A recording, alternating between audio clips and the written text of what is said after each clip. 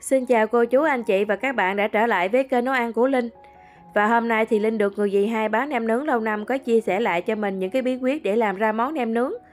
Thì với cách làm cái món nem nướng của dì hai thì mình thấy nó cũng rất là dễ làm. Cho nên hôm nay mình cũng muốn chia sẻ chi tiết lại cho cả nhà cùng xem và cùng làm chung với mình nè. Nem nướng sau khi mà mình nướng ra xong thì rất là dai giòn, thơm ngon và đậm đà. Màu sắc của nem thì cũng rất là đẹp mắt nữa. Và món nem nướng này thì mình ăn cùng với rau và có thể chấm cùng với mắm niêm thì rất là ngon. Cô chú, anh chị và các bạn xem clip nếu thấy thích cách làm cái món nem nướng này thì hãy vào bếp để cùng làm chung với mình chơi vui. Và cũng đừng quên bấm vào đăng ký kênh để ủng hộ cho mình nha. Và để cho mình có động lực chia sẻ nhiều clip hay hơn cho cả nhà cùng xem. Và để làm ra món nem nướng được ngon thì khâu chọn thịt cũng rất là quan trọng. Sáng hôm nay mình đi chợ mình mua một kg rưỡi thịt nạc và 300g mỡ. Mỡ ở đây thì mình sẽ sử dụng mỡ gái nè để cho nó được ờ, giòn hơn. Vì ở nhà mình có cái cối xay thịt cho nên thịt sau khi mình mua về mình sẽ rửa cho sạch sẽ và mình để nó ráo nước. Bây giờ thì mình sẽ cắt cái thịt nạc này cho nó nhỏ ra. Rồi sau đó thì mình sẽ cho vào trong cái ngăn đá mình để khoảng tầm 3 tiếng đồng hồ. Sau đó thì mình sẽ qua mình cắt mỡ thành hạt lựu rồi mình cho đường vào mình ướp. Còn nếu mà cả nhà mình không có cái máy xay thịt á, thì mình có thể nhờ người ờ, bán thịt người ta xay ờ, thịt giùm. Và để cho món nem nướng được dai giòn và ngon hơn thì đầu tiên á, mình sẽ cắt thịt nhỏ ra như thế này nè. Rồi mình sẽ để vào trong cái túi zip. Rồi mình cho cái phần thịt nạc này vào trong cái ngăn đá tủ lạnh từ 3 đến 4 tiếng đồng hồ. Và mình sẽ để cho thịt nó thật là lạnh và nó cứng lại á. Rồi mình mới cho vào trong cái máy xay thịt mình xay ra. Thì như vậy thịt nó rất là dẻo.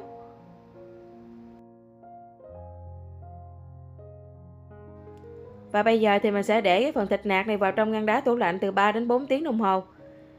À, khi nào mình thấy thịt nó, nó thật là lạnh rồi mình lấy ra mình xay nha. Còn đối với mỡ heo thì bây giờ mình sẽ cắt mỏng ra. Sau đó thì mình sẽ cắt trở lại thành hạt lựu. Và mình cắt càng nhỏ thì mỡ heo nó sẽ càng ngon. Sau khi mà mình cắt mỡ ra xong rồi thì mình sẽ cho đường vào mình ướp. Thì với 300 g mỡ thì mình sẽ cho vào là 120 g đường cát. Mình ướp khoảng tầm 3 đến 4 tiếng đồng hồ và mình phơi ở ngoài nắng để cho mỡ heo nó trong lại. Mỡ heo thì mình chịu khó mình cắt nhỏ ra như thế này nè. Để cho cái món nem nướng của mình nó mềm mại. Và nem sau khi làm xong á, ăn nó rất là ngon và không có bị khô.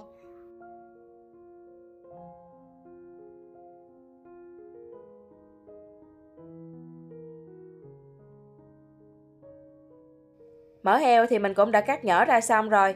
Và bây giờ thì mình sẽ cho vào 120g đường cát để mình ướp mỡ heo. Thì 120g đường cát tương đương là 6 muỗng canh. À, bây giờ thì mình sẽ trộn cho mỡ heo và đường cát nó đều lại. Sau đó thì mình sẽ dùng cái màng bọc thực phẩm á, mình bọc kín. Rồi mình đem ra ngoài nắng mình phơi từ 3 đến 4 tiếng đồng hồ. Mỡ heo mà mình ướp đường trước như thế này nè, nó sẽ làm cho mỡ heo nó rất là trong. Và khi mình trộn vào trong cái phần thịt á, nó sẽ làm cho nem nướng á, nó rất là giòn nữa.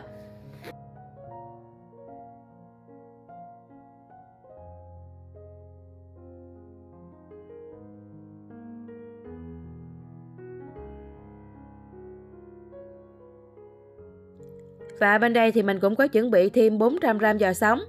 Thì giò sống này được bán rất là nhiều ở trong siêu thị. Mình làm nem nướng mà mình cho thêm giò sống vào thì cái món nem nướng nó mềm dai rất là ngon luôn. Và bây giờ thì mình sẽ giới thiệu cho cả nhà cùng xem những cái nguyên liệu để mình ướp làm nem nướng.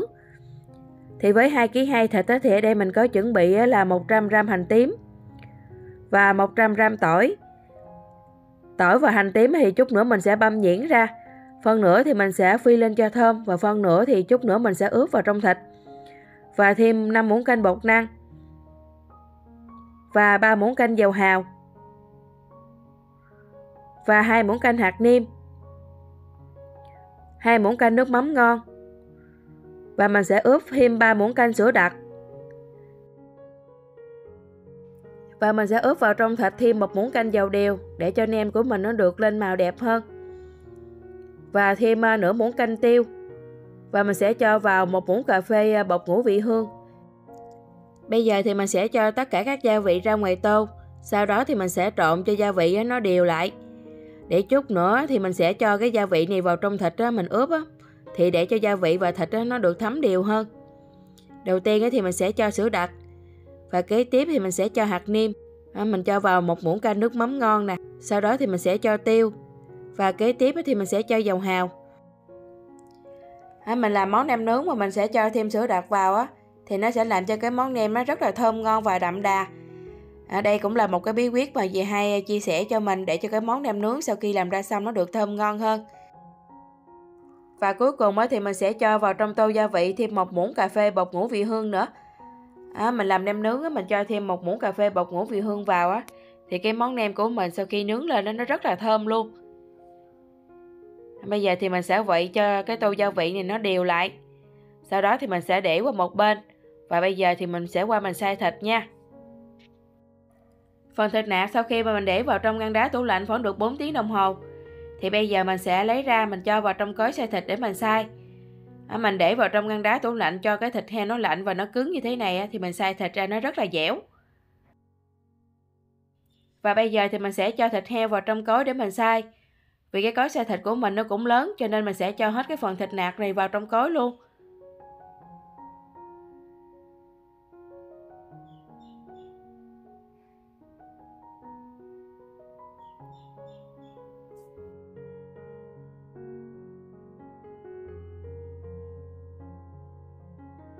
Thịt heo thì mình xay như vậy là đã được rồi. Và bây giờ thì mình sẽ cho thịt ra ngoài thau. Mình làm nem nướng, mình đừng có xay thịt nó nhuyễn quá. À, thịt mình xay như vậy là đã được rồi nè. Thịt nạc xay thì mình cũng đã cho ra ngoài thau rồi. Kế tiếp thì mình sẽ cho giò sống vào luôn.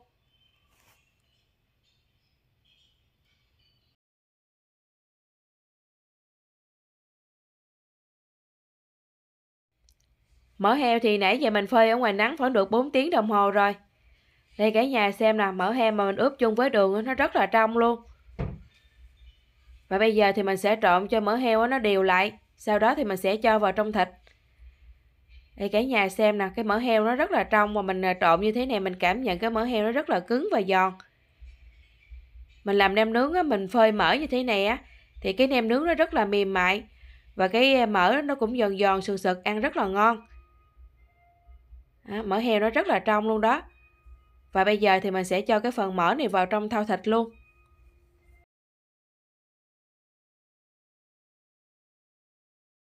Sau khi mà mình cho mỡ heo ra ngoài thau rồi thì bây giờ mình sẽ cho tỏi và hành tím băm vào trong thau thịt luôn. À, sau đó thì mình sẽ cho cái tô gia vị lúc nãy mình cũng đã pha sẵn đó. Mình cho vào trong thau.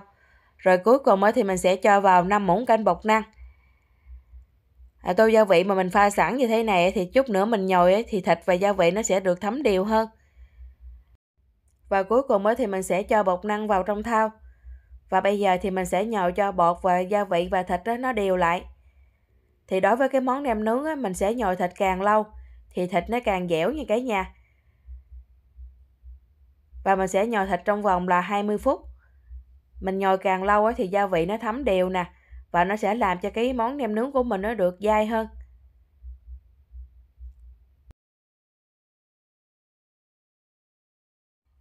Và sau thời gian 20 phút nhồi thịt thì khối thịt bây giờ cũng đã rất là dẻo rồi nè. Mình làm nem nướng á, mình chịu khó mình nhồi càng lâu á, thì thịt sau khi mình nướng ra xong nó rất là dai. Vì mình làm ở nhà cho nên mình không có cái máy nhồi thịt, cho nên mình chịu khó mình nhồi bằng tay như cả nhà.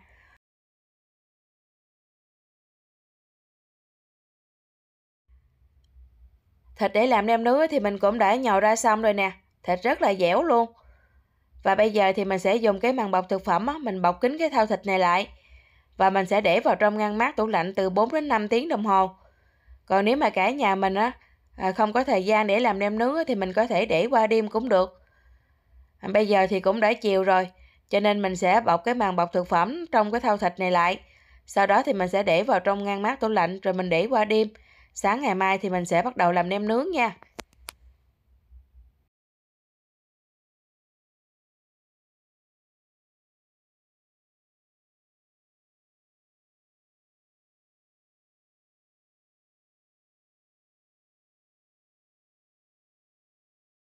Ở nhà của mình thì rất là thích ăn cái món nem nướng chấm cùng với mắm nêm. Cho nên bây giờ mình sẽ làm một cái tôm mắm nêm để chút nữa mình sẽ ăn cùng với món nem nướng. Ở đây thì mình có một cái chai mắm nêm. Và để làm mắm nêm thì không thể thiếu khóm. Và ở đây thì mình cũng có chuẩn bị thêm một cái trái khóm nhỏ nữa. Và thêm ba trái tắc, tỏi và ớt.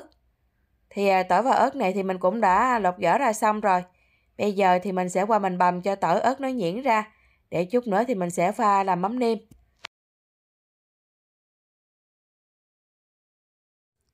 Tỏi và ớt thì mình cũng đã băm nhuyễn ra xong rồi. Bây giờ thì mình sẽ qua mình cắt khóm rồi mình cũng sẽ băm nhuyễn ra luôn. Thì tùy vào sở thích của mỗi gia đình mà mình sẽ làm cái món nước chấm khác nhau. Thì đối với cái món nem nướng thì mình có thể chấm cùng với tương nè, mình có thể chấm cùng với mắm nêm. Đó, cho nên cả nhà mình thích cái cái loại nước chấm nào thì mình sẽ làm cái loại nước chấm đó nha. Hôm nay thì mình đi chợ mình mua trái khóm rất là nhỏ, cho nên mình sẽ sử dụng hết trái khóm để làm mắm nêm luôn. Còn nếu mà cả nhà mình mua trái khóm lớn thì mình sẽ sử dụng nửa trái thôi. À, khóm sau khi mà mình băm nhuyễn ra xong rồi thì bây giờ mình sẽ cho ra ngoài tô. À, sau đó thì mình sẽ cho tỏi ớt vào luôn. Sau khi mình cho tỏi ớt vào trong tô xong rồi thì bây giờ mình sẽ cho cái chai mắm nêm vào. Cái chai mắm nêm này nó rất là mặn cho nên mình sẽ sử dụng nước dừa tươi để mình pha nước mắm. Mình sẽ cho vào nửa chén nước dừa tươi và thêm 3 muỗng canh đường cát. Sau đó thì mình sẽ cho nước cốt tác vào rồi mình sẽ quậy cho tô mắm nêm này nó đều lại. À, thì tùy vào sở thích của mỗi gia đình mình mình có thể gia giảm cái lượng mặn ngọt lại nha nhưng mà để chấm cùng với món nem nướng á thì cái tô mắm nêm mình sẽ làm cho nó có vị ngọt ngọt lạc lạc thì mình ăn nó sẽ ngon hơn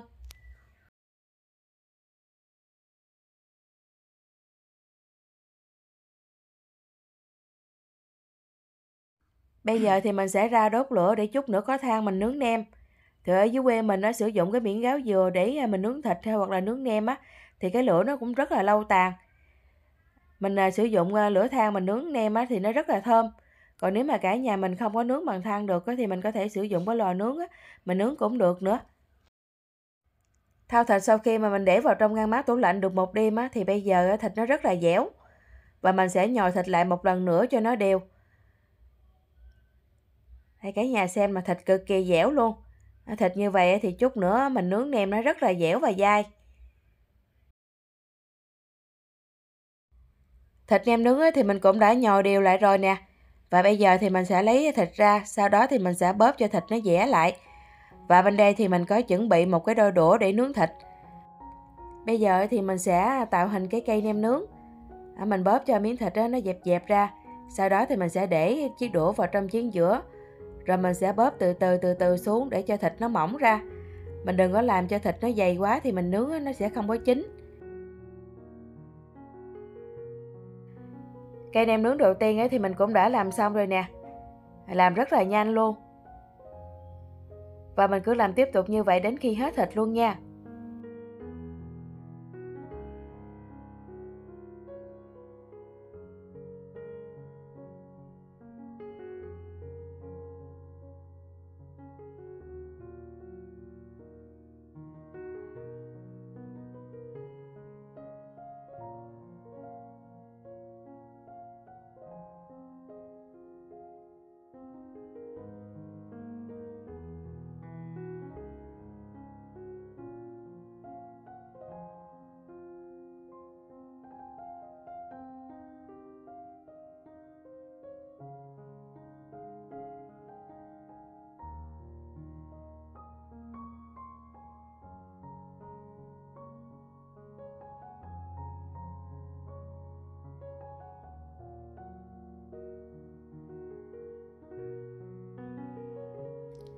Nem thì mình cũng đã nắng được phân nửa rồi.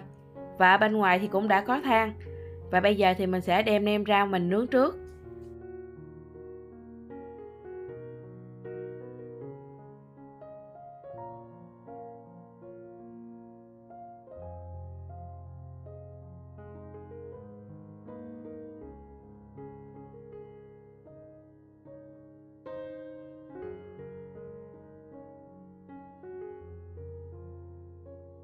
Và trong lúc nướng nem thì mình sẽ trở liên tục và đều tay như thế này nè để cho những cây nem nó được chín và vàng đều hơn. Và mình cũng đừng có để cho than nhiều quá nha. À, nếu than nhiều quá thì à, cây nem của mình nó trở không kịp nó dễ bị khét lắm. Cho nên sau khi mà mình đốt than xong rồi thì mình sẽ để cho cái than nó dịu xuống một chút rồi mình mới cho nem lên để mình nướng như cái nhà. Như vậy cái than của mình nó không có ờ, nóng quá và nó sẽ làm cho nem nó không có bị chín áp. Nem thì nãy giờ mình nướng khoảng được 15 phút thì cũng đã chín rồi nè. Mình trở liên tục cho nên á, nem nó được chín đều hơn. Và để cho cái màu nem nướng được đẹp thì mình có chuẩn bị thêm một muỗng cà phê mật ong và một muỗng canh à, dầu điều. Thì à, mình sẽ pha lại trong chén đó, thì chút nữa mình sẽ quét vào trong những cái cây nem này nè để cho cái cây nem nó được lên màu đẹp hơn. Và có mật ong nữa cho nên là cái cây nem của mình nó có một cái vị ngọt ngọt mình ăn nó sẽ ngon hơn nữa.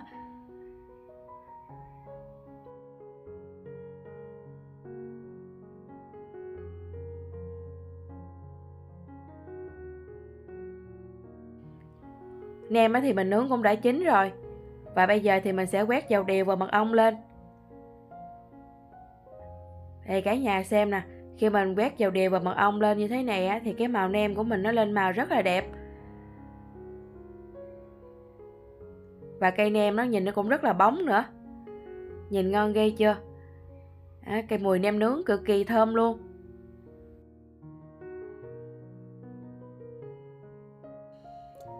Món nem nướng thì mình cũng đã làm xong rồi. Và bây giờ thì mình sẽ dùng cái kéo mình cắt cái cây nem nướng ra cho cả nhà cùng xem ở bên trong. À, khi mình dùng kéo mình cắt ra như thế này, mình cảm nhận cái cây nem nó rất là dai. Và màu sắc của cây nem ở bên ngoài nhìn cũng rất là đẹp nữa. À, cây nem thì mình cũng đã cắt ra xong rồi. Ở bên trong cây nem thì nó rất dai ngon và không có bị bở. Và để ăn cùng với cái món nem nướng này thì ở đây mình có chuẩn bị là bánh tráng, rau sống, bánh hỏi, chuối, khế và một thành phần không thể thiếu đó là rau. À, bây giờ thì mình sẽ chuẩn bị một cái à, cuốn à, nem nướng rồi mình chấm cùng với mắm nêm. Và bây giờ thì mình xin mời cả nhà cùng thưởng thức với mình món nem nướng chấm cùng với mắm nêm nha. Nhìn cái cuốn nem nướng rất là hấp dẫn luôn. Uhm, điều đầu tiên mà mình cảm nhận khi ăn cái món nem nướng này thì nó rất là ngon nè. Nem nướng thì rất là thơm, dai và giòn. Và chấm cùng với mắm nêm thì tuyệt vời luôn cả nhà. Mắm nêm này thì mình làm nó rất là vừa ăn, nó không có mặn quá và có một cái vị ngọt ngọt thơm thơm của khóm, cay cay của ớt và kết hợp cái vị của nem nướng nữa, nó hòa quyện vào rất là ngon. Bây giờ thì mình sẽ à, chấm thử nem nướng với à, mắm nêm để ăn xem cái hương vị nó như thế nào. Khi mà mình ăn không á, thì mình thấy cái nem nó nó dai ngon lắm cả nhà, và nó rất là thơm. Gia vị mình ướp nó cũng rất là đậm đà nữa. Và hôm nay thì mình cũng đã chia sẻ chi tiết cho cả nhà cùng xem cách làm cái món nem nướng. Thì với cách làm ngày hôm nay thì mình thấy nó cũng rất là dễ làm. Cho nên cô chú, anh chị và các bạn xem clip nếu thấy thích cách làm cái món nem nướng này, thì hãy dành chút xíu thời gian ra để làm cho gia đình và người thân cùng ăn cho vui lâu lâu mình có thể thay đổi bữa để cho gia đình mình ăn được ngon hơn. Và clip của mình chia sẻ cách làm cái món nem nướng đến đây là hết rồi. Và bây giờ thì mình xin chào cả nhà và hẹn cả nhà vào những video tiếp theo. À, và nếu thấy à, clip của mình chia sẻ hay thì hãy nhớ bấm vào đăng ký kênh like và chia sẻ để ủng hộ cho mình nha. Và để cho mình có động lực chia sẻ nhiều clip hay hơn cho cả nhà cùng xem. Và bây giờ thì mình xin chào cả nhà và hẹn cả nhà vào những video tiếp theo. Xin chào cả nhà.